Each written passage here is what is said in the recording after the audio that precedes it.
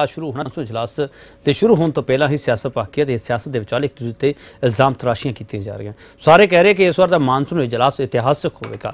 ਇਸ ਇਤਿਹਾਸਕ ਮਾਨਸੂਨ ਇਜਲਾਸ ਦੇ ਵਿਚਾਲੇ ਸਵਾਲ ਇਹ ਹੈਗਾ ਕਿ ਇਸ ਇਜਲਾਸ ਦੇ ਵਿੱਚ ਕੌਣ ਕਿੰਨਾ ਰੋਲਾ ਪਾਵੇਗਾ ਤੇ ਮਸਲੇ ਦਾ ਹੱਲ ਕਿਵੇਂ ਹੋਵੇਗਾ?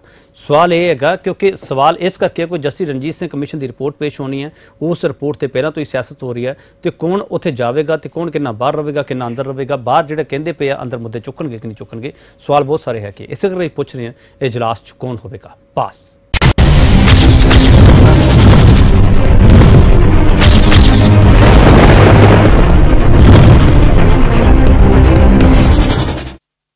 ਇਜਲਾਸ ਬਹੁਤ ਵੱਡਾ ਇਮਤਿਹਾਨ ਹੈਗਾ, ਦਿਨ ਚਾਹੇ ਘੱਟ ਹੈਗੇ ਆ, ਪਰ ਇਮਤਿਹਾਨ ਵੱਡਾ ਹੈਗਾ। ਤੇ ਇਸੇ ਕਰਕੇ ਅੱਜ ਬਹਿਸ ਕਰ ਰਹੇ ਹਾਂ। ਬਹਿਸ ਜਿਸ ਕਰਕੇ ਕਰ ਰਹੇ ਹਾਂ, ਤੁਹਾਨੂੰ ਦੱਸ ਦਈਏ ਪੁਆਇੰਟ ਟੂ ਪੁਆਇੰਟ ਪੰਜਾਬ ਵਿਧਾਨ ਸਭਾ ਦਾ ਮਾਨਸੂਨ ਇਜਲਾਸ ਹੰਗਾਮੇ ਦਾ ਰਹਿਣ ਦੀ ਸੰਭਾਵਨਾ ਸਾਰੀਆਂ ਪਾਰਟੀਆਂ ਨੇ ਇੱਕ ਦੂਜੇ ਨੂੰ ਘੇਰਨ ਲਈ ਰਣਨੀਤੀ ਘੜੀ ਹੈ। ਜਸਟਿਸ ਰਣਜੀਤ ਸਿੰਘ ਕਮਿਸ਼ਨ ਦੀ ਰਿਪੋਰਟ ਤੇ ਰਾਜਨੀਤੀ ਪੱਖੇਗੀ। ਅਕਾਲੀ ਭਾਜਪਾ ਨੂੰ ਘੇਰਨ ਲਈ ਕਾਂਗਰਸ ਨਾਲ ਮਿਲ ਸਕਦੇ ਨੇ ਆਮ ਆਦਮੀ ਪਾਰਟੀ ਦੇ ਸੁਰ। ਹਿੰਮਤ ਸਿੰਘ ਦੇ ਬਿਆਨਾਂ ਤੋਂ ਪਲਟੀ ਤੇ ਸ਼੍ਰੋਮਣੀ ਅਕਾਲੀ ਦਲ ਨੇ ਰਣਨੀਤੀ ਬਦਲ ਲਈ ਹੈ। ਖਹਿਰਾ ਧੜੇ ਦੀ ਵੱਖਰੀ ਲਾਮਬੰਦੀ ਨੇ ਆਪ ਦੀਆਂ ਮੁਸ਼ਕਲਾਂ ਵਧਾ ਦਿੱਤੀਆਂ ਨੇ। ਖਹਿਰਾ ਦੀ ਥਾਂ ਵਿਰੋਧੀ ਧਿਰ ਦੇ ਆਗੂ ਬਣੇ ਹਰਪਾਲ ਸਿੰਘ ਚੀਮਾ ਲਈ ਵੱਡਾ ਇਮਤਿਹਾਨ ਹੈ। ਜੱਫੀ ਵਾਲੇ ਸਿੱਧੂ ਅਤੇ ਐਚਐਸ ਫੁਲਕਾ ਦੀ ਆਪ ਵਿਧਾਇਕਾਂ ਨੂੰ ਜੱਫੀ ਤੇ ਵੀ ਨਜ਼ਰ ਰਹੇਗੀ। ਨਸ਼ਾ ਕਿਸਾਨੀ ਕਤਾਰਪੁਰ ਲਾਂਘੇ ਸਨੇ ਕਈ ਮੁੱਦਿਆਂ ਤੇ ਵੀ ਹੰਗਾਮੇ ਦੇ ਅਸਾਰ ਹੈ, ਜਿਹੜੇ ਉਹ ਹੈਗੇ ਆ, ਪਰ ਹੰਗਾਮਾ ਕਿਵੇਂ ਹੋਵੇਗਾ, ਰੋਲਾ ਕਿੰਨਾ ਪਵੇਗਾ ਤੇ ਉਸ ਰੋਲੇ ਦੇ ਵਿੱਚੋਂ ਨਿਕਲੇਗਾ ਕਿ? ਸਵਾਲ ਬਹੁਤ ਸਾਰੇ ਹੈਗੇ ਆ ਤੇ ਸਵਾਲ ਇੱਕੋ ਹੀ ਪੁੱਛ ਰਹੇ ਹਾਂ ਅਸੀਂ। ਸਵਾਲ ਅਸੀਂ ਇਹ ਪੁੱਛ ਰਹੇ ਹਾਂ, ਪੰਜਾਬ ਵਿਧਾਨ ਸਭਾ ਦੇ ਮਾਨਸੂਨ ਇਜਲਾਸ ਤੋਂ ਪਹਿਲਾਂ ਦੀ ਸਿਆਸੀ ਹਲਚਲ ਕੀ ਰੰਗ ਵਿਖਾਏਗੀ? ਇਸੇ ਸਵਾਲ ਤੇ ਚਰਚਾ ਕਰਾਂਗੇ, ਪਰ ਇਸ ਚਰਚਾ ਤੋਂ ਪਹਿਲਾਂ ਸਿਆਸਤਦਾਨ ਕੀ ਕਹਿੰਦੇ ਹੈਗੇ ਆ, ਉਹ ਸੁਣ ਲਈਏ। ਅਖਬਾਰਾਂ ਰਾਹੀਂ ਤੇ ਹੋਰ ਸੋਰਸਸ ਰਾਹੀਂ ਜੋ ਖਬਰਾਂ ਲੱਗ ਰਹੀਆਂ ਸੀ regarding the Ranjit Singh commission ਉਹਦੇ ਬਾਰੇ ਸਪੀਕਰ ਸਾਹਿਬ ਨੂੰ ਜਾਣੂ ਕਰਾਇਆ।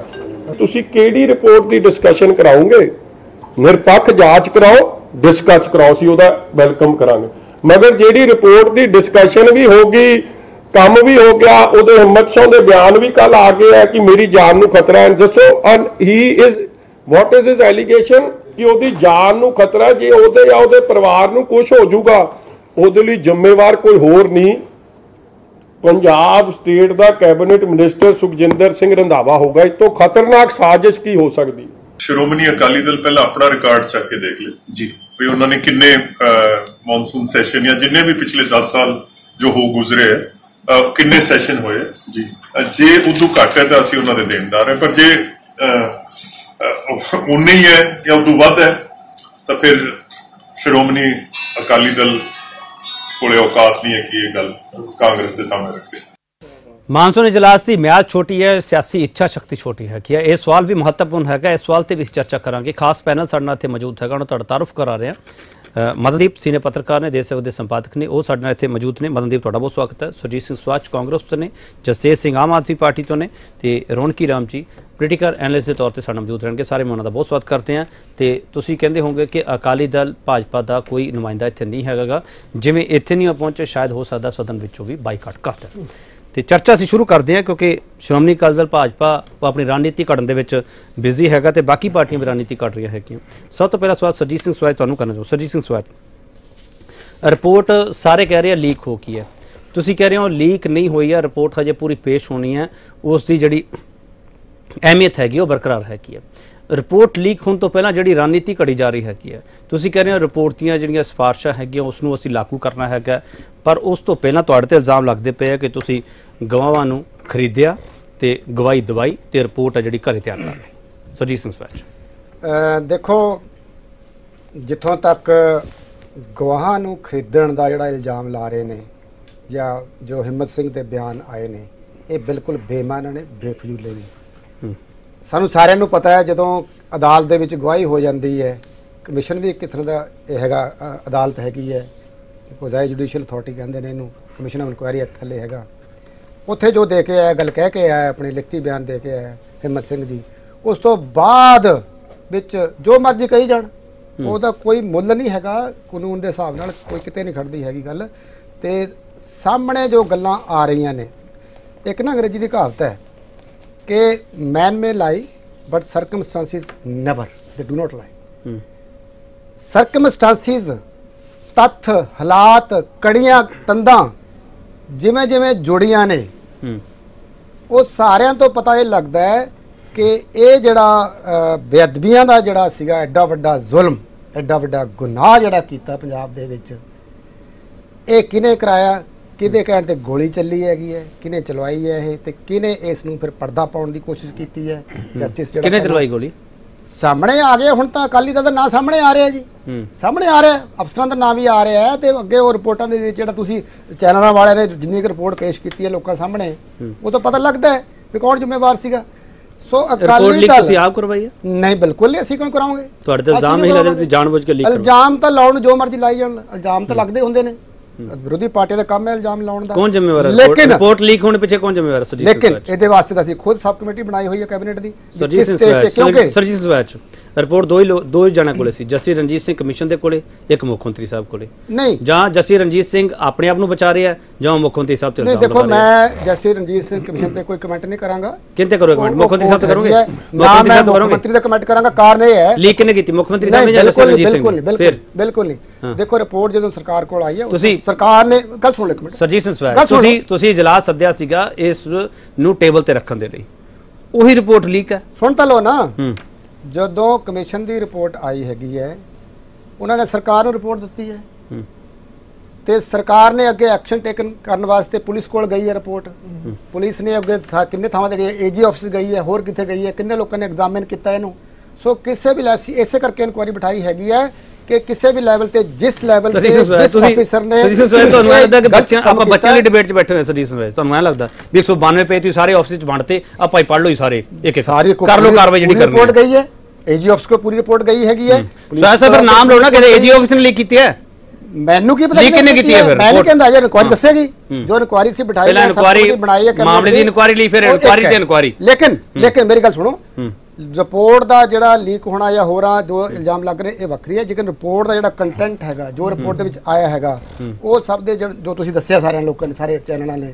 ਉਹਦੇ ਵਿੱਚ ਇਹ ਸਾਬਤ ਹੋ ਗਿਆ ਹੈ ਕਿ ਇਹ ਜਿਹੜਾ ਇੰਨਾ ਗੁਨਾਹ ਕੀਤਾ ਹੈ ਕਿਹਨੇ ਕੀਤਾ ਕਿਵੇਂ ਕਰਵਾਇਆ। ਕੀ ਹੋਇਆ ਸਾਰਾ ਕੁਝ। ਹੋਇਆ। ਸੋ ਇਸ ਨੂੰ ਤੁਸੀਂ ਉਸ ਰਿਪੋਰਟ ਦੀ ਅਹਿਮੀਅਤ ਨੂੰ ਇਸ ਕਰਕੇ ਨਾ ਘਟਾਓ ਕਿ ਰਿਪੋਰਟ ਲੀਕ ਹੋ ਗਈ ਹੈ। ਚਲੋ ਠੀਕ ਹੈ। ਮੈਂ ਵਾਪਸ ਆਉਂਗਾ ਤੁਹਾਡੇ ਕੋਲ। ਸਾਹਿਬ ਵਾਪਸ ਆਉਂਗਾ ਵਾਪਸ ਤੁਹਾਨੂੰ ਪੂਰੀ ਮੌਕਾ ਦਿੱਤਾ ਵਾਪਸ ਆਉਂਗਾ ਤੁਹਾਡੇ ਕੋਲ ਵਾਪਸ ਆਉਂਗਾ ਜਸੇ ਸਿੰਘ। ਆਮ ਆਦਮੀ ਪਾਰਟੀ ਦਾ ਆਪਦਾ ਹੀ ਕਾਟੋ ਕੋਲ ਪਿਆ ਹੋਇਆ ਤੁਸੀਂ ਪੰਜਾਬ ਦੇ ਮੁੱਦਿਆਂ ਦੀ ਕਿਵੇਂ ਗੱਲ ਕਰੋਗੇ ਉੱਥੇ ਜਾ ਕੇ?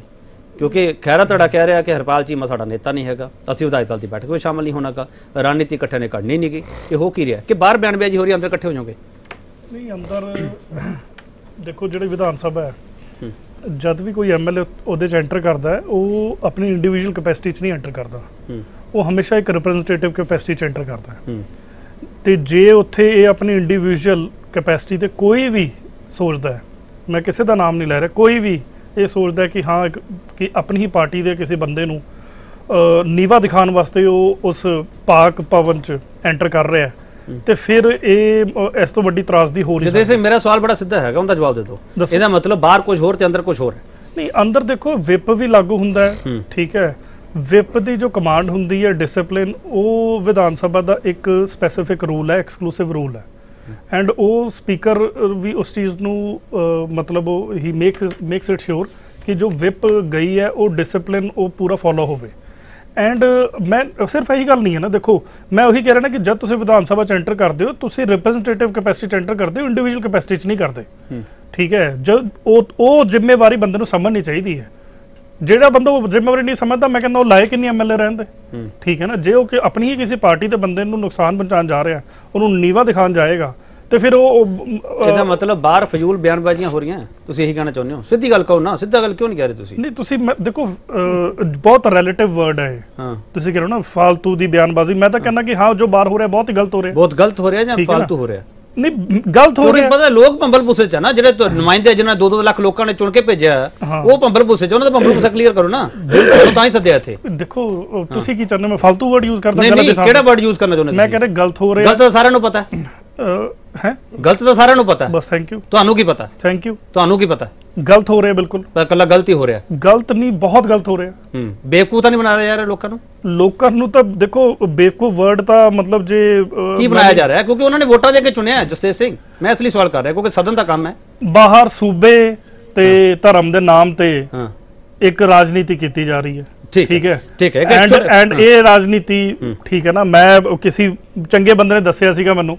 ਕਿ ਇਹ ਰਾਜਨੀਤੀ ਲੁਭਾਵਣੀ ਬਹੁਤ ਹੁੰਦੀ ਹੈ। ਠੀਕ ਹੈ। ਬਟ ਇਹ ਬਹੁਤ ਖੁਦਗਰਜ਼ ਤੇ ਸੈਲਫਿਸ਼ ਹੈ, ਲੋਕ ਕਰਦੇ ਠੀਕ ਹੈ। ਤੁਸੀਂ ਬਹੁਤ ਵੈਲਿਡ ਪੁਆਇੰਟ ਰੱਖਿਆ ਹੈਗਾ। ਇੱਕ ਛੋਟਾ ਬ੍ਰੇਕ ਲੈਣੇ ਬ੍ਰੇਕ ਤੋਂ ਵਾਪਸ ਆਵਾਂਗੇ। ਪੋਲੀਟੀਕਲ ਐਨਾਲਿਸਟ ਦੇ ਤੌਰ ਤੇ ਰੌਣਕ ਰਾਮ ਵੀ ਸਾਡਾ ਮੌਜੂਦ ਹੈ ਗਿਆ ਤੇ ਸੀਨੀਅਰ ਪੱਤਰਕਾਰ ਮਦਨਦੀਪ ਵੀ ਸਾਡਾ ਮੌਜੂਦ ਹੈ ਗਿਆ ਉਹਨਾਂ ਤੋਂ ਸਮਝਣ ਦੀ ਕੋਸ਼ਿਸ਼ ਕਰਾਂਗੇ ਦੋ ਪਾਰਟੀਆਂ ਜਿਹੜੀਆਂ ਬੈਠੀਆਂ ਹੈਗੀਆਂ ਇੱਕ ਜਿਹੜੀ ਸੱਤਾ ਧਿਰ ਤੇ ਇੱਕ ਮੁੱਖ ਵਿਰੋਧੀ ਧਿਰ।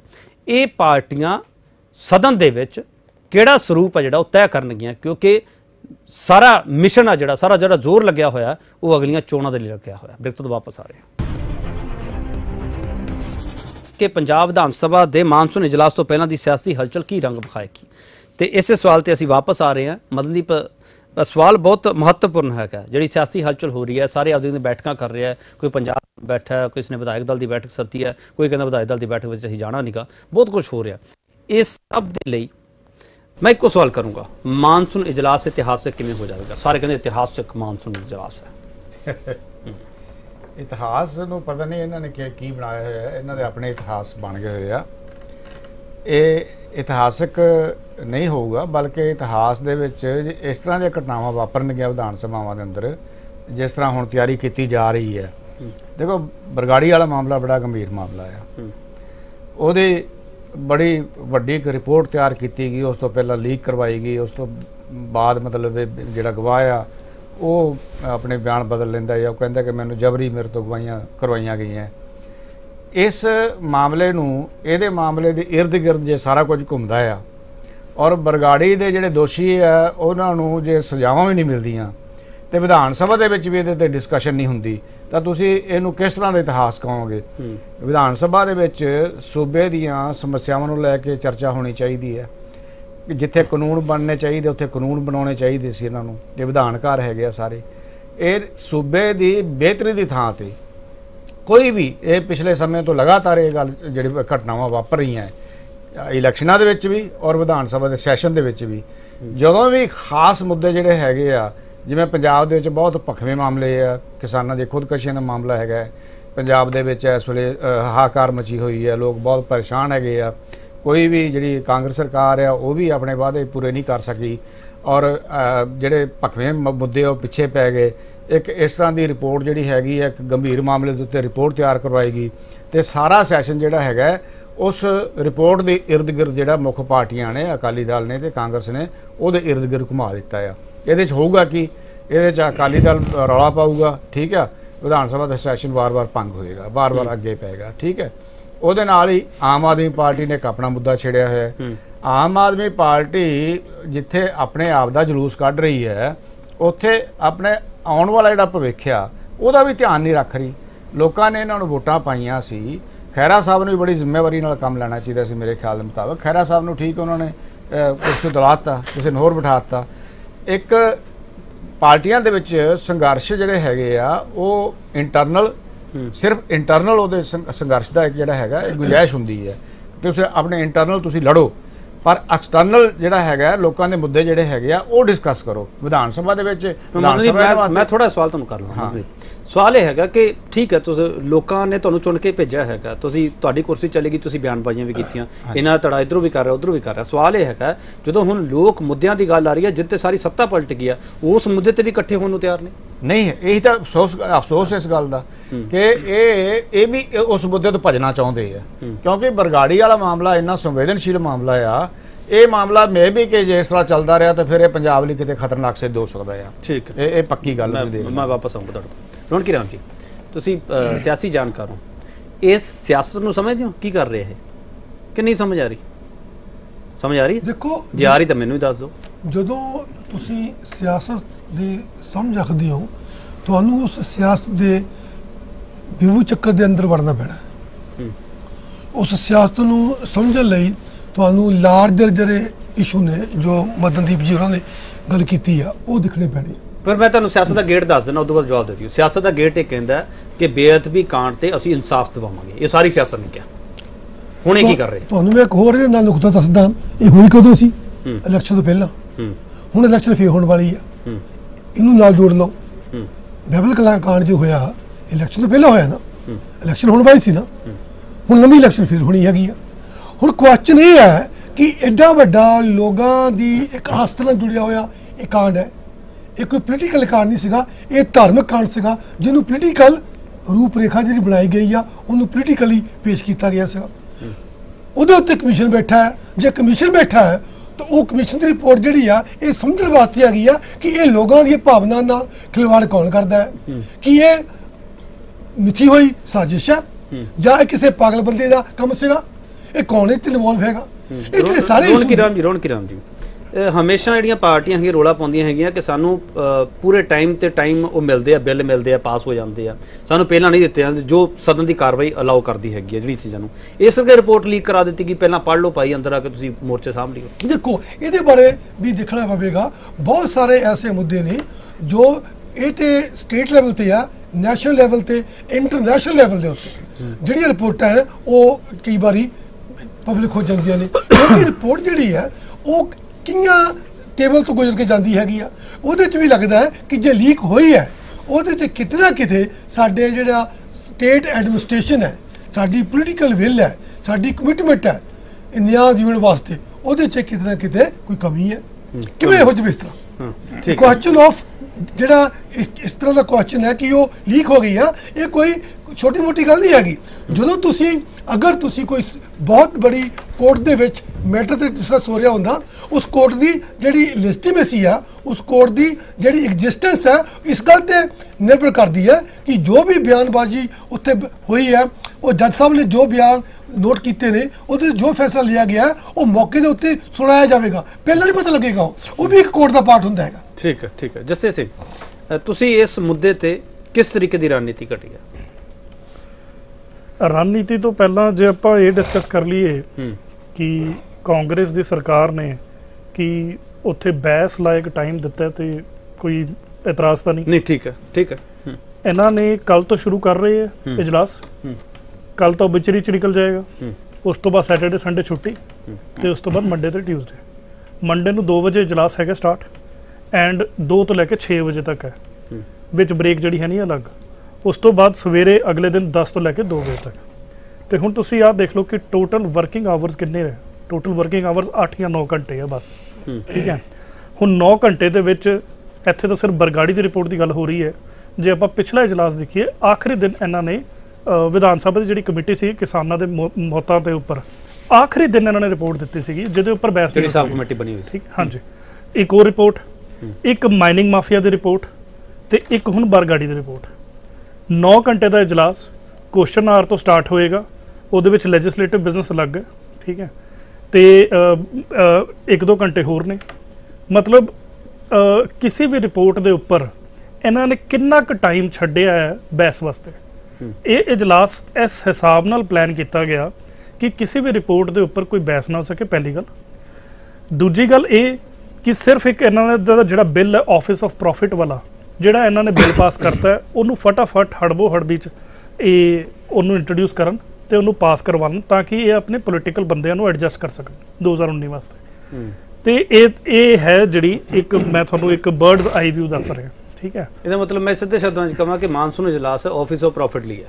ਟੋਟਲੀ ਇੱਕ ਹੋਰ ਛੋਟਾ ਬ੍ਰੇਕ ਲਵਾਂਗਾ ਬ੍ਰੇਕ ਤੋਂ ਬਾਅਦ ਵਾਪਸ ਆਵਾਂਗੇ ਇਜਲਾਸ ਦੀ ਮਿਆਦ ਕਿੰਨੀ ਛੋਟੀ ਹੈਗੀ ਆ ਜਾਂ ਸਿਆਸੀ ਇੱਛਾ ਸ਼ਕਤੀ ਜਿਹੜੀ ਉਹ ਕਿੰਨੀ ਵੱਡੀ ਹੈਗੀ ਆ ਸਵਾਲ ਬਹੁਤ ਸਾਰੇ ਹੈਗੇ ਆ ਇਜਲਾਸ 'ਚ ਕੌਣ ਹੋਵੇਗਾ ਪਾਸ ਤੇ ਕੌਣ ਹੋ ਜਾਵੇਗਾ ਫੇਲ ਮਾਨਸੂਨ ਇਜਲਾਸ ਹੈ ਸਾਰੇ ਇਹ ਕਹਿੰਦੇ ਪਏ ਆ ਕਿਸੇ ਸਿਰ ਤਾਂ ਪੈਣ ਕੇ ਗੜੇ ਬ੍ਰੇਕ ਤੋਂ ਬਾਅਦ ਵਾਪਸ ਆ ਰਹੇ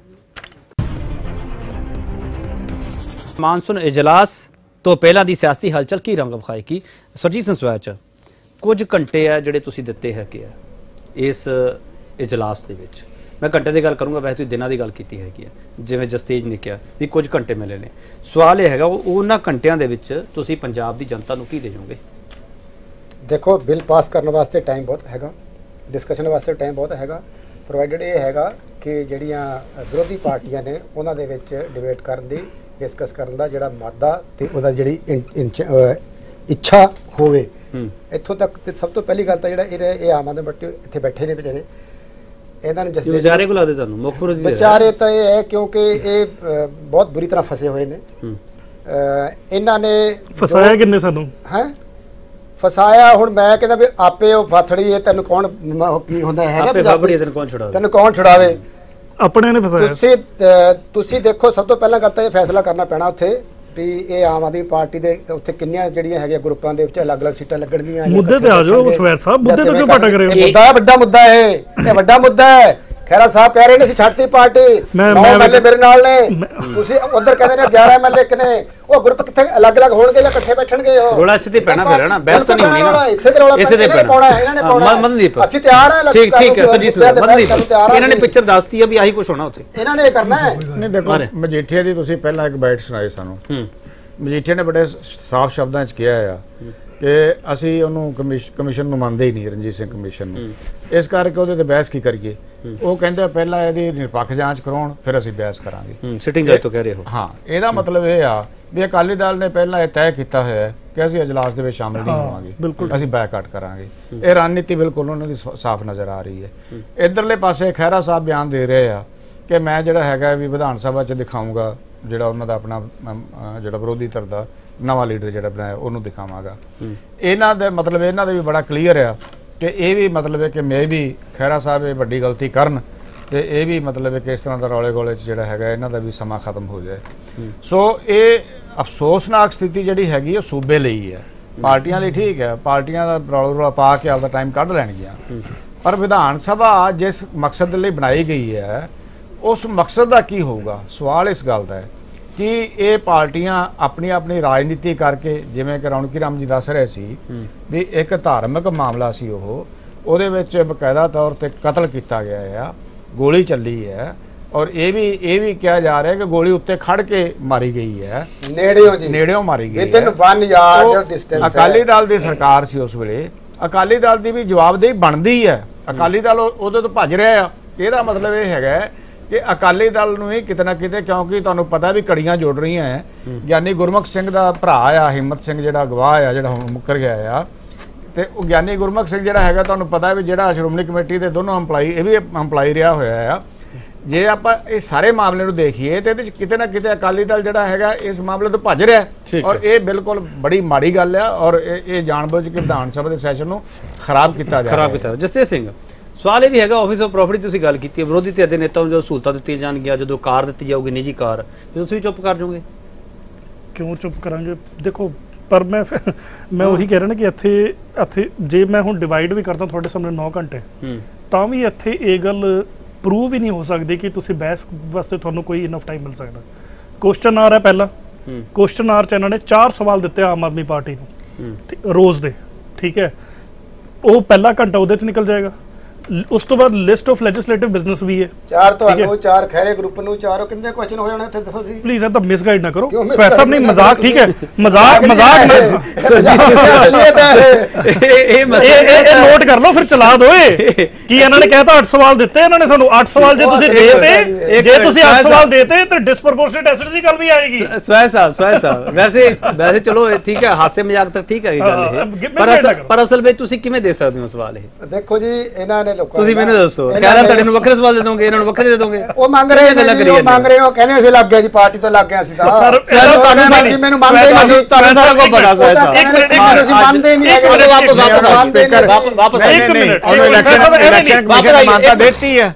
ਇਲੈਕਸ਼ਨ ਕਮਿਸ਼ਨ ਨੇ ਮਾਨਤਾ ਦਿੱਤੀ ਵਾਪਸ ਹੈ ਜਾਣ ਗਏ ਨਹੀਂ ਸਾਹਿਬ ਸਵੈ ਸਾਹਿਬ ਆਪਾਂ- ਸੀਰੀਅਸ ਇਸ਼ੂ ਤੇ ਤੁਸੀਂ ਨਹੀਂ, ਹਾਂ ਹਾਂ ਜਸਤੇ ਗੱਲ ਪੂਰੀ ਕਰੋ। ਸਵੈਰ ਸਾਹਿਬ ਮੈਨੂੰ ਬੜੀ ਮਾਫੀ ਨਾਲ ਕਹਿਣਾ ਪੈ ਰਿਹਾ ਪਰ ਇਹਦਾ ਮਤਲਬ ਤੁਹਾਨੂੰ ਸਦਨ ਦੇ ਅੰਦਰ ਵਿਧਾਨ ਸਭਾ ਦੇ ਅੰਦਰ ਜਿਹੜੀ ਕਾਰਵਾਈ ਹੁੰਦੀ ਹੈ ਉਹ ਤੁਹਾਨੂੰ ਪਤਾ ਹੀ ਨਹੀਂ ਕੀ ਹੁੰਦੀ। ਹੈ ਚਾਰ ਸਵਾਲ ਟੋਟਲ ਇੱਕ ਦਿਨ ਦੇ ਆਮ ਆਦਮੀ ਪਾਰਟੀ ਨੂੰ ਪੂਰੇ ਦਿੱਤੇ ਹੋਏ ਆ। ਠੀਕ ਹੈ? ਤੇ ਚਾਰ ਚਾਰ ਚ ਡਿਵਾਈਡ ਨਹੀਂ ਹੋ ਸਕਦਾ। ਸੌਰੀ ਬਟ ਇਹ ਤੁਸੀਂ ਜੇ ਮਿਸਗਾਈਡ ਕਰ ਜੇ ਜੀ ਚਲੋ ਠੀਕ ਹੈ ਹੁਣ ਹੁਣ ਸੁਣ ਲਓ, ਗੱਲ ਸੁਣ ਲਓ। ਟੈਕਨੀਕਲਟੀ 'ਚ ਨਾ ਜਾਓ। Technicality ਨਹੀਂ, ਨਾ ਜਾਓ। ਸਵੈ ਸਾਹਿਬ ਵਧੀਆ ਗੱਲ ਹੈ ਸਵੈ ਤੁਹਾਨੂੰ- ਸਾਹਿਬ ਸਵੈ ਸਾਹਿਬ। ਤੁਹਾਨੂੰ ਇਹਨਾਂ ਵਧੀਆ ਗੱਲ ਹੈ, ਇਹਦਾ ਤੁਹਾਨੂੰ ਮਤਲਬ ਹੈ, ਰੋਸਟਰ ਵੀ ਨਹੀਂ ਪਤਾ ਸਾਹਿਬ, ਸਪੀਕਰ ਨੇ ਰੋਸਟਰ ਕੀ ਦਿੱਤਾ ਤੈਨੂੰ ਵਧੀਆ ਵਧੀਆ ਅੱਛੀ ਸਾਹਿਬ, ਗੱਲ ਹੈ ਤੁਹਾਨੂੰ ਪਤਾ ਹੈ। ਸਵਾਇ ਸਾਹਿਬ, ਅਸੀਂ- ਅਸੀਂ- ਮਰਿਆਦਾ ਵੀ ਰੱਖੋ ਕੋਈ ਪੰਜਾਬ ਦੇ ਲੋਕਾਂ ਨੇ ਸਾਹਿਬ, ਕਿੰਨਾ ਵਿਸ਼ਵਾਸ ਪ੍ਰਗਟ ਕੀਤਾ misguiding ਹੈ ਨਾ- ਕਿਉਂ ਅੱਛਾ, ਸਵਾਇ ਸਾਹਿਬ, ਅਸੀਂ- ਹੋ? ਪੰਜਾਬੀ- ਬਹਿਸ ਹੋ ਰਹੀ ਹੈ ਬਹਿਸ ਹੋ ਲੈਣ ਦਿਓ ਸਵੈ ਸਾਹਿਬ ਅਸੀਂ ਪੰਜਾਬੀਆਂ ਨੂੰ ਗੁੰਮਰਾਹ ਨਹੀਂ ਕਰ ਸਕਦੇ ਉਹਨਾਂ ਨੂੰ ਤੱਕ ਦੱਸਨੇ ਆ ਗੁੰਮਰਾਹ ਕਰ ਹੱਸ। ਲਿਆ ਆਪਾਂ ਹੱਸ ਲਿਆ ਬਸ ਠੀਕ ਹੈ ਗੱਲ ਖਤਮ ਹੋ ਗਈ। ਲੋਕਾਂ ਨੂੰ ਹਾਂ ਗੁੰਮਰਾਹ ਕਰ ਰਹੇ ਜਿਸ ਤੇ ਨੇ। ਆਪਣੀ ਗੱਲ ਪੂਰੀ ਕਰੋ। ਦੇਖੋ ਹਾਂ।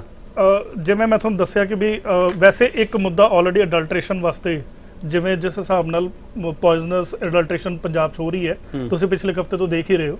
ਉਹਦੇ ਵਾਸਤੇ ਲਿਸਟ ਆਫ ਬਿਜ਼ਨਸ ਦੇ ਵਿੱਚ ਅਮਨ ਅਰੋੜਾ ਜੀ ਆਲਰੇਡੀ ਦੇ ਆਏ ਆ। ਠੀਕ ਹੈ। ਠੀਕ ਹੈ ਪ੍ਰੋਪਰ ਟੌਪਿਕ ਦੇ ਕੇ ਆਏ ਆ। ਪਰ ਜੇ ਪ੍ਰੋਵਾਈਡਡ ਬੋਲਣ ਦਾ ਮੌਕਾ ਦੇਣ। ਠੀਕ ਹੈ। ਹੁਣ ਐਦਾਂ ਹੀ ਤੁਸੀਂ ਇਹ ਲਗਾਓ ਦੇਖੋ ਆਪਾਂ ਇੱਥੇ ਬਰਗਾੜੀ ਕਾਂਡ ਦੀ ਜੇ ਆਪਾਂ ਗੱਲ ਕਰਦੇ ਆ ਹਾਂ ਅੱਜ ਅਫਸੋਸ ਵਾਲੀ ਗੱਲ ਹੈ ਪਰ ਸੱਚੀ ਗੱਲ ਜੋ ਰੌਣਕੀ ਰਾਮ ਜੀ ਨੇ ਕਹੀ। ਠੀਕ ਹੈ। ਕਿ ਇਹ ਇੱਕ ਇੱਕ ਧਾਰਮਿਕ ਮੁੱਦਾ ਸੀਗਾ।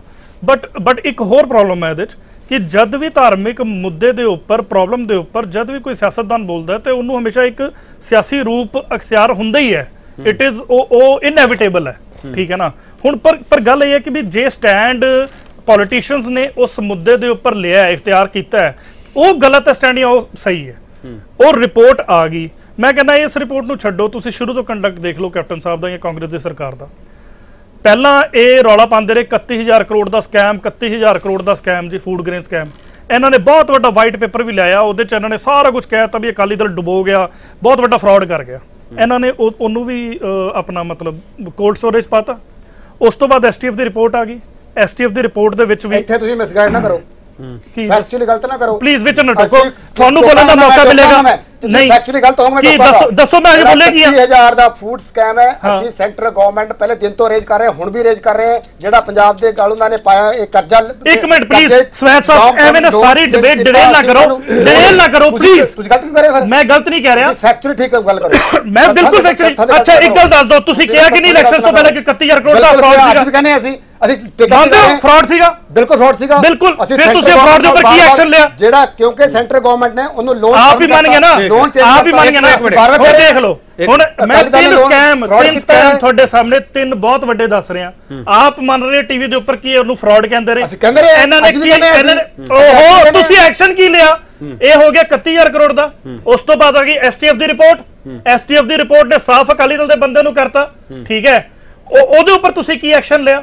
ਸਿੱਟ ਦੀ ਰਿਪੋਰਟ ਆ ਗਈ ਕੀ ਐਕਸ਼ਨ ਲਿਆ? ਬਰਗਾੜੀ ਦੀ ਰਿਪੋਰਟ ਆ ਗਈ ਕੀ ਐਕਸ਼ਨ ਲਿਆ? ਕੀ ਬਰਗਾੜੀ ਦੀ ਰਿਪੋਰਟ ਦੀ ਜਿਹੜੀ ਮੈਂ 4 ਜਾਂ ਜਵਾਬ 5 ਵਾਸਤੇ term ਦੇ ਦਿਓ। ਹਾਂ।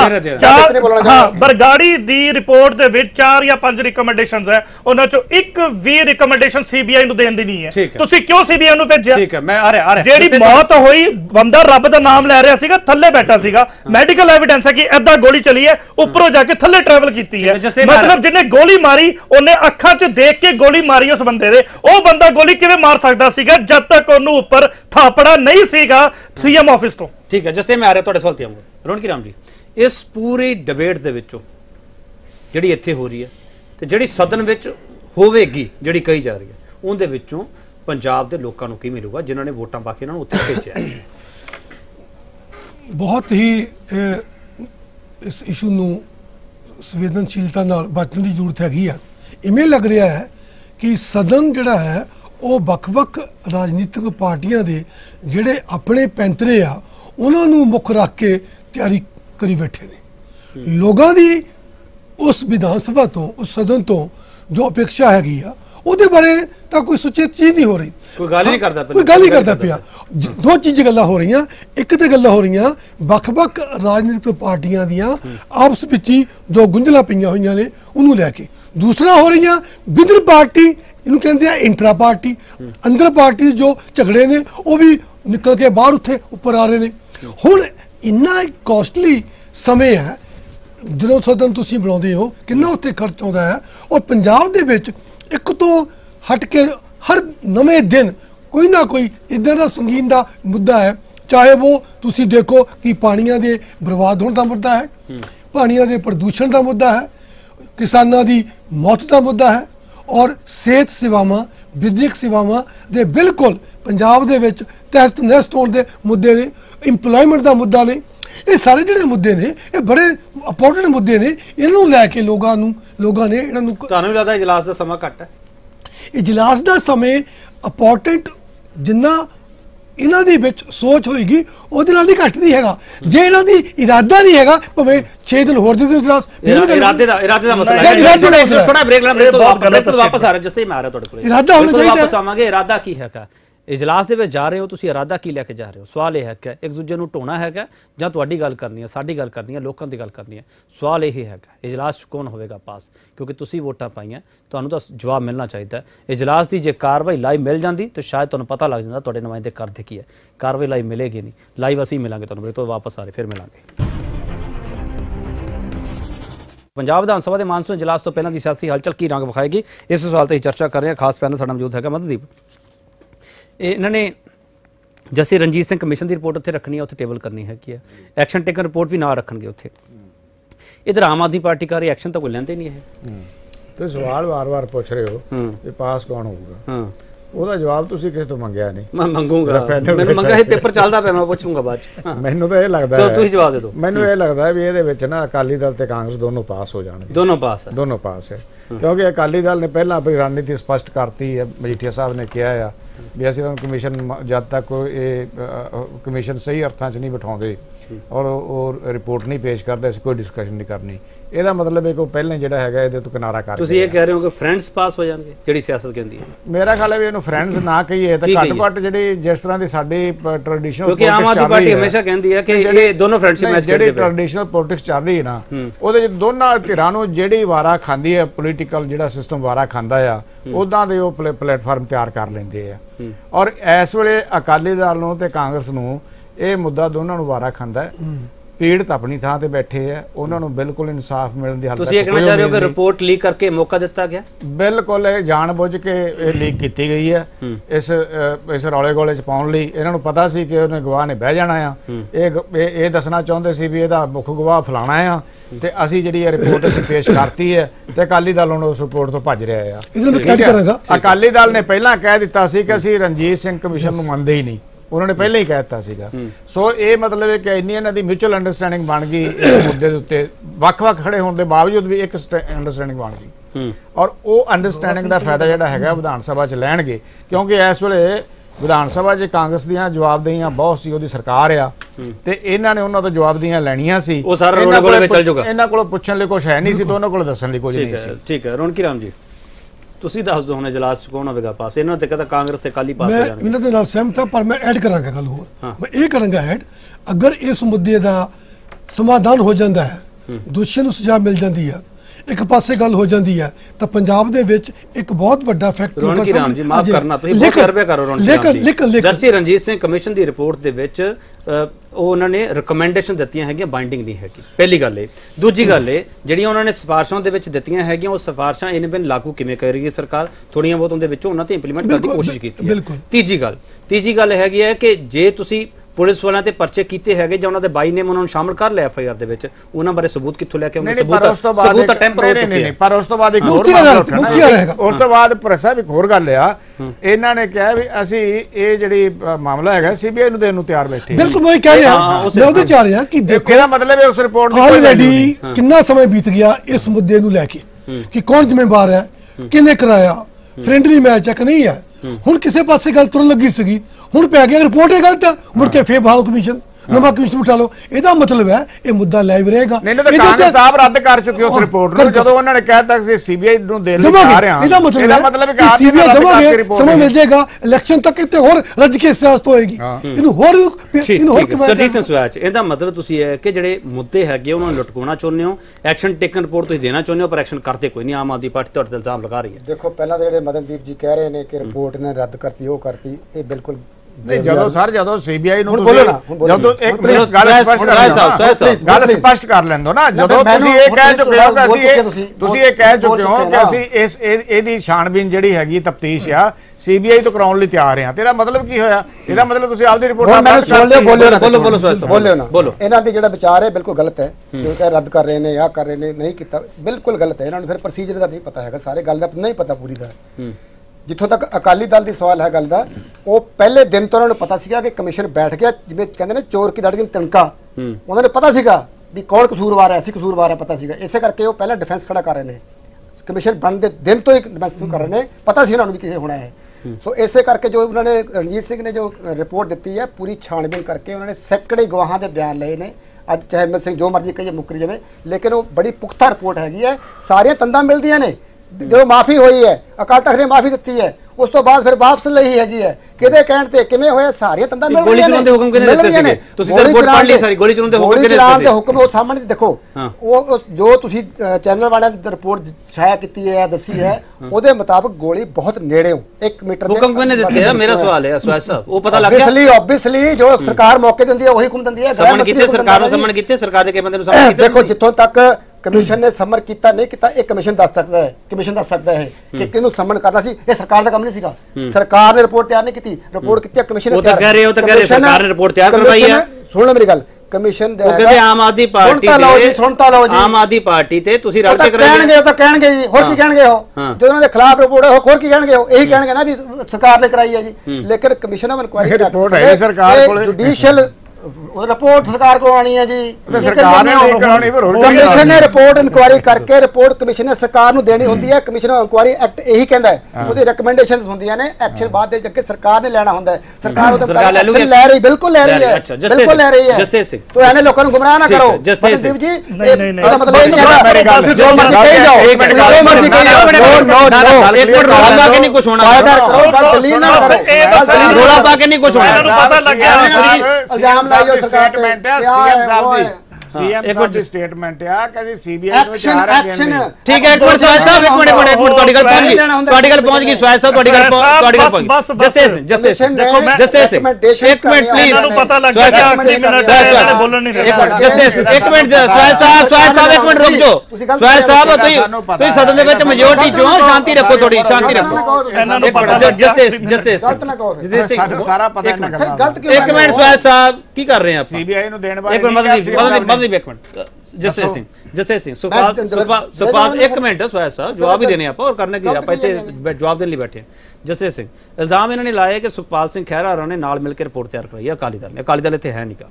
ਸਵਾਲ ਇਹ ਹੈਗਾ ਹੁਣ ਸੁਖਪਾਲ ਸਿੰਘ ਖਹਿਰਾ ਦੀ ਤੁਹਾਡੇ ਨਾਲ ਬੰਦੀ ਨਹੀਂ ਕੀ ਤੁਹਾਡਾ ਵੱਖਰਾ ਹੈਗਾ। ਹੁਣ ਤੁਸੀਂ ਕੀ ਕਹਿਣਾ ਚਾਹੁੰਦੇ ਹੋ? ਨਹੀਂ ਕਰਵਾਈ ਉਹਨਾਂ ਨੇ ਰਿਪੋਰਟ ਤਿਆਰ ਕਰਵਾ ਨਹੀਂ ਰਿਪੋਰਟ ਵਗੈਰਾ ਕਦੇ ਵੀ ਨਹੀਂ ਹੋ ਸਕਦਾ। ਜਸਟਿਸ ਰਣਜੀਤ ਸਿੰਘ ਨੂੰ ਸਵੈਤ ਸਾਹਿਬ ਵੀ ਜਾਣਦੇ ਮੈਂ ਵੀ ਜਾਣਦਾ। ਠੀਕ ਹੈ ਦੋਨੋਂ ਵਕੀਲੋਂ ਮੈਂ ਤਾਂ ਹੀ ਪੁੱਛ ਰਿਹਾ। ਹਾਂ ਉਹਨਾਂ ਦਾ ਬਹੁਤ ਮਤਲਬ ਓਨੈਸਟ ਬੰਦੇ ਨੇ। ਉਹ ਇਲਜ਼ਾਮ ਉਹ ਇਲਜ਼ਾਮ ਉਹ ਇਲਜ਼ਾਮ ਖਾਰਜ। ਇੱਕ ਮਿੰਟ ਸਵਾਲ ਸਾਹਿਬ ਉਹ ਤਾਇਦ ਹੀ ਕਰਦੇ ਪਏ। ਉਹ ਇਲਜ਼ਾਮ ਖਾਰਜ ਕਰ ਦਿਆ ਬਿਲਕੁਲ ਠੀਕ ਹੈ 110% ਖਾਰਿਜ ਆ ਉਹਦੇ ਤਾਂ ਕੋਈ ਡਾਊਟ ਹੀ ਨਹੀਂ ਕਿ ਹੈ। ਨਹੀਂ ਇੱਕ ਮਿੰਟ। ਹਾਂ, ਠੀਕ ਹੈ। ਸੀਐਮ ਆਫਿਸ ਦੇ ਰਾਤ ਨੂੰ ਮਨਤਾਰ ਸਿੰਘ ਬਰਾੜ ਦੇ ਆਫਿਸ ਤੋਂ ਡੀਸੀ ਦੇ ਆਫਿਸ ਤੋਂ ਸਾਰੀਆਂ ਕਾਲਸ ਐਕਸਚੇਂਜ ਹੋਈਆਂ। ਮੈਂ ਮੈਂ ਤੁਹਾਨੂੰ ਇੱਕ ਸਿੱਧਾ ਸਵਾਲ ਪੁੱਛਦਾ। ਚਲੋ ਮਤਲਬ ਵੈਸੇ ਤੁਸੀਂ ਐਂਕਰ ਹੋ ਸਵਾਲ ਇਨ ਦਾ ਸੈਂਸ ਇਹ ਜਨਤਾ ਨੂੰ ਪੁੱਛ ਰਿਹਾ ਮੈਂ। ਇੱਕ ਪੁਲਿਸ ਵਾਲਾ ਸਿੱਧੀ ਗੋਲੀ ਬੰਦੇ ਨੂੰ ਕਦੋਂ ਮਾਰ ਸਕਦਾ ਕਦੋਂ? ਜਦੋਂ ਪਿੱਛੋਂ ਥਾਪੜਾ ਹੋਵੇ ਤਾਂ ਹੀ ਮਾਰ ਸਕਦਾ ਹੈ ਨਾ? ਸਿੱਧੀ ਜੀ ਗੱਲ ਹੈ ਕਾਮਨ ਸੈਂਸ ਹੈ। ਚਲੋ ਨਹੀਂ ਤੁਸੀਂ ਤਾਂ ਤੁਸੀਂ ਵਕੀਲ ਹੋ ਜਸਤੇਜ ਸਿੰਘ। ਹੁਣ। ਵਕੀਲ ਦੇ ਤੌਰ ਤੇ ਜਵਾਬ ਦਿਓ ਮੈਨੂੰ। ਕਿ ਜਸਟਿਸ ਰਣਜੀਤ ਸਿੰਘ ਕਮਿਸ਼ਨ ਨੂੰ ਉਸ ਸਰਕਾਰ ਦੇ ਨੁਮਾਇੰਦਿਆਂ ਨੂੰ ਸੰਮਨ ਕਰਨਾ ਚਾਹੀਦਾ ਸੀ। ਜੇ ਕਰਨਾ ਚਾਹੀਦਾ ਸੀ ਕੀਤਾ ਗਿਆ। ਕੀਤਾ ਗਿਆ। ਉਹਨਾਂ ਨੇ ਮਨਾ ਹੀ ਕਰਤਾ ਸ਼ੁਰੂ ਤੋਂ ਹੀ। ਦੇਖੋ ਇਹ ਪਰ ਪਰ ਪ੍ਰੋਬਲਮ ਇਹ ਨਹੀਂ ਹੈ। ਪ੍ਰੋਬਲਮ ਇਹਨਾਂ ਦੀ ਰਣਨੀਤੀ ਦੇ ਉੱਪਰ ਕਾਂਗਰਸ ਦੇ ਉੱਪਰ ਸ਼ੁਰੂ ਤੋਂ ਹੀ ਡਾਊਟ ਹੈ। ਠੀਕ ਹੈ ਜਾਂ ਤਾਂ ਪਹਿਲਾਂ ਹੀ ਮੈਸੇਜ ਪਹੁੰਚਾ ਦਿੱਤਾ ਗਿਆ ਸੀ ਅਕਾਲੀ ਦਲ ਨੂੰ। ਕਿ ਜਾਂ ਉਹਨਾਂ ਦੀ ਰਣਨੀਤੀ ਸੀ ਕਿ ਉਹਨਾਂ ਨੂੰ ਪਤਾ ਦੇਖੋ ਇਸ ਤੋਂ ਪਹਿਲਾਂ ਜ਼ੋਰਾ ਸਿੰਘ ਕਮਿਸ਼ਨ ਵੀ ਸੀਗਾ। ਡੇਢ ਸਾਲ ਕੀ ਕੀਤਾ ਉਹਨੇ? ਕੁਝ ਨਹੀਂ ਕੀਤਾ ਨਾ।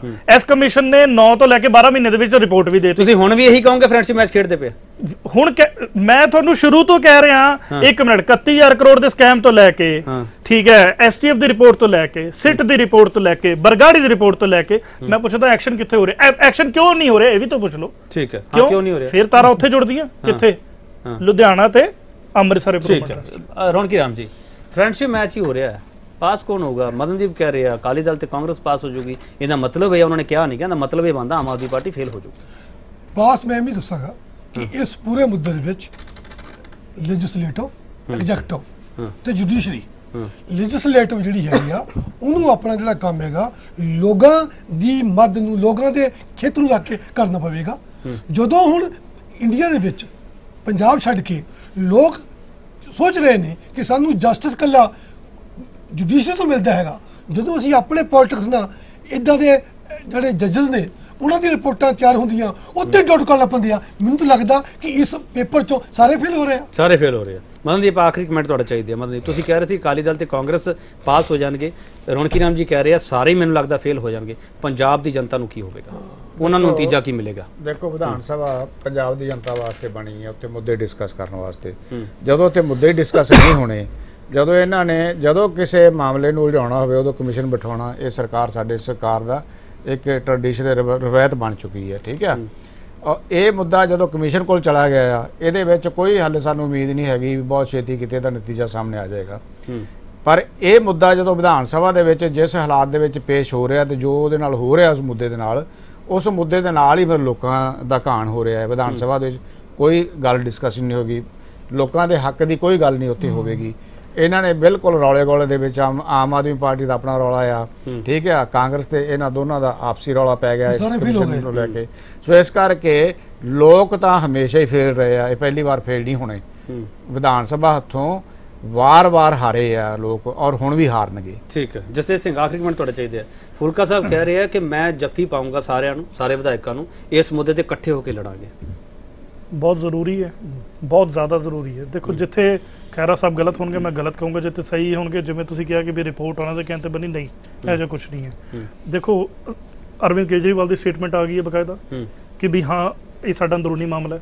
ਭਗਵੰਤ ਮਾਨ ਜੀ ਦੀ ਆ ਗਈ ਹੈ ਸਟੇਟਮੈਂਟ ਅਮਨ ਅਰੋੜਾ ਜੀ ਦੀ ਹਰਪਾਲ ਚੀਮਾ ਜੀ ਕਹਿ ਚੁੱਕੇ ਕਿ ਮੈਂ ਐਲਓਪੀ ਦਾ ਅਹੁਦਾ ਵੀ ਛੱਡਣ ਨੂੰ ਤਿਆਰ ਆ ਪਾਰਟੀ ਵਾਸਤੇ ਸਾਰੇ ਕੋਸ਼ਿਸ਼ ਇੱਕੋ ਮਾਮਲਾ ਅੰਦਰੂਨੀ ਤਾਂ ਨਹੀਂ ਹੈਗਾ ਚਲੋ ਉਹ ਤਾਂ ਛੱਡ ਨਹੀਂ। ਨਹੀਂ ਨਹੀਂ ਨਹੀਂ ਵਾਕਈ ਹੈਗਾ। ਉਹਨਾਂ ਉਹਨਾਂ ਵੈਰੀ ਓਨੈਸਟ ਨਹੀਂ ਅੰਦਰੂਨੀ ਮਾਮਲਾ ਤਾਂ ਨਹੀਂ ਹੈਗਾ। ਇਹ ਗੱਲ ਤਾਂ ਛੱਡ ਦਿਓ ਤੁਸੀਂ ਅਸੀਂ ਤਾਂ ਚਾਹੁੰਦੇ ਸੀ ਚਾਹੁੰਦੇ ਸੀ ਨਾ ਕਿ ਅੰਦਰੂਨੀ ਰਹੇ। ਅੰਦਰੂਨੀ ਹੋ ਸਕਦਾ ਪਰ ਸਾਡੇ ਲਈ ਅੰਦਰੂਨੀ ਜੇ ਹੁਣ। ਹੁਣ ਸਾਡੀ ਇੰਨੀ ਕੋਸ਼ਿਸ਼ ਕਰਨ ਦੇ ਬਾਵਜੂਦ ਕੋਈ ਸ਼ਖਸ ਪਾਰਟੀ ਦਾ ਜਲੂਸ ਕੱਢੇਗਾ ਤੇ ਫਿਰ ਉਹ ਉਹ ਉਸ ਤੋਂ ਵੱਧ ਕੇ ਤਾਂ ਮਤਲਬ ਮਤਲਬ ਬਸ ਚਲੋ ਜੇ ਜਲੂਸ ਕੱਢਿਆ ਜਾਵੇਗਾ ਤਾਂ ਲੋਕਾਂ ਦੀ ਕਚਹਿਰੀ ਜਵਾਬ ਮੰਗੇਗੀ ਜਸਤੇ ਸਿੰਘ ਤੁਹਾਡਾ ਬਹੁਤ ਧੰਨਵਾਦ ਰੌਣਕੀ ਰਾਮ ਜੀ ਤੁਹਾਡਾ ਬਹੁਤ ਧੰਨਵਾਦ ਸਰਜੀਤ ਸਿੰਘ ਸਵਾਈ ਤੁਹਾਡਾ ਬਹੁਤ ਧੰਨਵਾਦ ਮਦਨਦੀਪ ਤੁਹਾਡਾ ਬਹੁਤ ਧੰਨਵਾਦ ਇਜਲਾਸ 'ਚ ਕੌਣ ਹੋਵੇਗਾ ਬਾਅਦ ਸਾਰਿਆਂ ਦੀ ਆਪੋ ਆਪਣੀ رائے ਹੈ ਕੀ ਹੈ ਇਜਲਾਸ 'ਚ ਪਾਸ ਕੋਈ ਹੋਵੇ ਨਾ ਹੋਵੇ ਪਰ ਮੈਂ ਇਹ ਚਾਹੁੰਦਾ ਇਸ ਮੰਚ ਤੇ ਬੈਠਾ ਹੋਇਆ ਕਿ ਤੁਸੀਂ ਫੇਲ ਨਹੀਂ ਹੋਣੇ ਚਾਹੀਦੇ ਜੇ ਤੁਸੀਂ ਫੇਲ ਹੋਗੇ ਤਾਂ ਮੈਨੂੰ ਬੜਾ ਦੁੱਖ ਹੋਊਗਾ ਕਿਉਂਕਿ ਤੁਸੀਂ ਇਹਨਾਂ ਨੂੰ ਪਾਸ ਕਰਾਉਣ ਲਈ ਭੇਜ ਦਿਓ ਕਿ ਤੁਹਾਡੇ ਮੁੱਦੇ ਪਾਸ ਹੋ ਜਾਣ ਜੇ ਇਹ ਫੇਲ ਹੋਗੇ ਤਾਂ ਫਿਰ ਇਹਨਾਂ ਤੋਂ ਜਵਾਬ ਲਈਓ ਜ਼ਰੂਰ ਬਹੁਤ ਧੰਨਵਾਦ